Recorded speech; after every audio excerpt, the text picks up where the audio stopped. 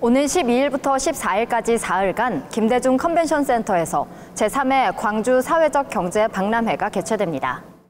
사회적 경제, 광주를 이롭게, 내일을 빛나게를 슬로건으로 하는 이번 박람회는 광주시가 주최하고 사회적 경제 지원센터, 시민사회단체 등 민관이 공동 주관하며 광주 기업 78개, 정책 홍보관 22개 등 전국 최대 규모인 121개 부스가 운영됩니다.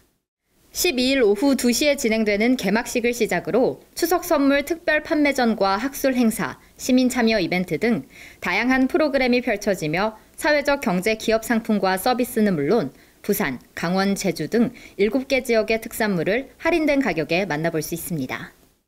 광주시는 박람회 홍보를 위해 기념품 지급 등 다채로운 현장 이벤트를 마련했으며 아울러 오는 11일까지 광주 사회적 경제지원센터 누리집을 통해 선착순 500명에게 5천원 할인 쿠폰을 제공합니다.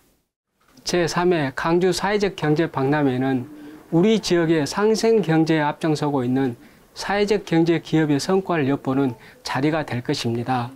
추석을 맞아 전국 최대 규모로 풍성하게 준비한 만큼 시민 여러분의 많은 관심과 참여 바랍니다.